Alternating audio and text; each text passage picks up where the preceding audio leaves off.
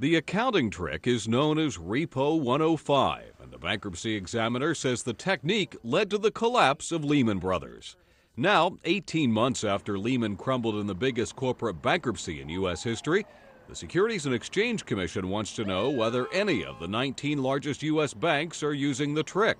It's not, at- it's not at all clear that what Lehman was doing um, satisfied any of the then-current accounting and disclosure requirements. So that's obviously very much a subject of our ongoing investigation.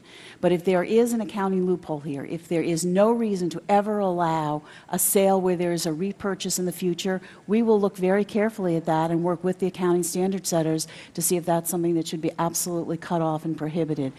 The government's report found Lehman put together complex securities and then sold them at the end of the quarter, avoiding the scrutiny of regulators and shareholders.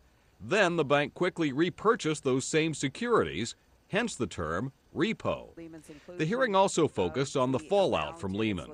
School districts, local governments, and hospitals lost millions in the collapse.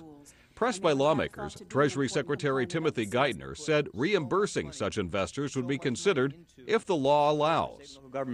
I do not believe I have the authority under TARP, as you know, we've talked about this many times, to directly compensate municipal authorities for their losses on their Lehman investments. We- If we Uh, give but you I- the authority, will you do it?